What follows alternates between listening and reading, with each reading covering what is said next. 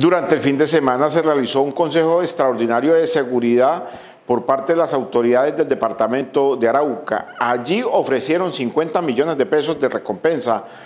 para las personas que suministren información y se den con la captura de los responsables del secuestro de dos suboficiales. Luego de un Consejo de Seguridad extraordinario por las alteraciones de orden público en el departamento de Arauca, la gobernación ofreció 50 millones de pesos para las personas que suministren información y se den con los responsables del secuestro de dos suboficiales del Ejército Nacional. Efectivamente, eh, dentro de los temas que fueron abordados en este Consejo de Seguridad, se estimó la situación que se viene presentando o que se presentó en días anteriores, donde eh, desaparecieron dos miembros del Ejército.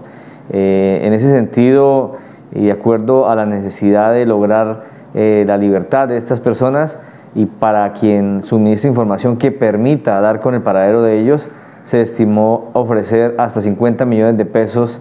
a aquellas personas o aquella persona que entregue esa información para lograr la, libertad, como lo decía, de los dos suboficiales. El secretario de Gobierno y Seguridad Ciudadana del Departamento de Arauca, Edgar Fernando Guzmán, dijo que también se analizaron las amenazas a los concejales del municipio de Cravo Norte. Bueno, eh, precisamente por una eh, denuncia que recibieron las autoridades, eh, además que fue también escalada por parte del señor alcalde, a la señora gobernadora, y a las diferentes instancias del orden departamental. Se analizó esta situación de amenazas eh, de las que fueron eh,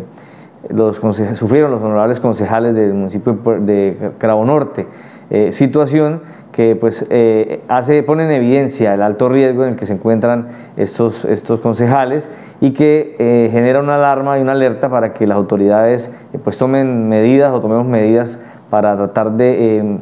poder salvaguardar la vida, la integridad de estas personas. El ejército y la policía ha estimado y ha considerado eh, unas disposiciones frente a esta situación, dentro de ellas eh, acompañamiento para los concejales y por supuesto ellos también tienen compromisos en el sentido de que se debe eh, establecer la ruta de protección, se debe hacer el llamado a la Unidad Nacional de Protección, pero debe ser iniciada por ellos, por supuesto, y por otro lado,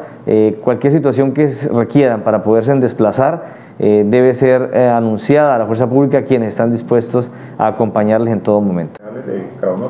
Al parecer es el grupo armado ilegal de las FARC. También el funcionario dijo que se le exigió al Ejército Nacional más presencia en las diferentes vías del departamento de Arauca para evitar secuestros y hurtos. Bueno, por parte del departamento se le exigió, y de acuerdo a las instrucciones dadas por la señora gobernadora, se le exigió a los miembros de la fuerza pública, especialmente al Ejército, eh, generar mayores condiciones de presencia, control territorial en el sector donde de manera recurrente se vienen desarrollando estos hechos de secuestro y atracos por parte, al parecer, de delincuencia común. Eh, también se ha eh, establecido que dentro de las inversiones que se van a adelantar en el departamento eh, con recursos de 418, que corresponde a la adquisición de cámaras de seguridad, se instalen cámaras de seguridad en los puestos de control que tiene la fuerza pública a lo largo de, a lo largo de los recorridos y los ejes viales de nuestro departamento.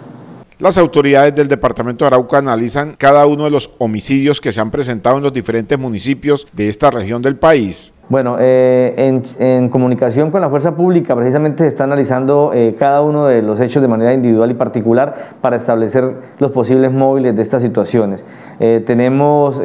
como usted lo ha dicho, una lamentable situación de muertes en este, último, este fin de semana que preocupa, por supuesto, a las autoridades del departamento. Sin embargo, no debemos desconocer que parte de ellos eh, precisamente corresponden a esa confrontación que se sigue dando entre las fuerzas del ELN y de las FARC. Entonces, eh, de acuerdo a ello, esperamos que las autoridades nos puedan esclarecer y establecer quiénes son los responsables de estas situaciones de homicidio que se han presentado. Por último, se le hizo un llamado a la Policía y al Ejército Nacional más presencia en las vías del departamento de Arauca y en los cascos urbanos de cada uno de los municipios.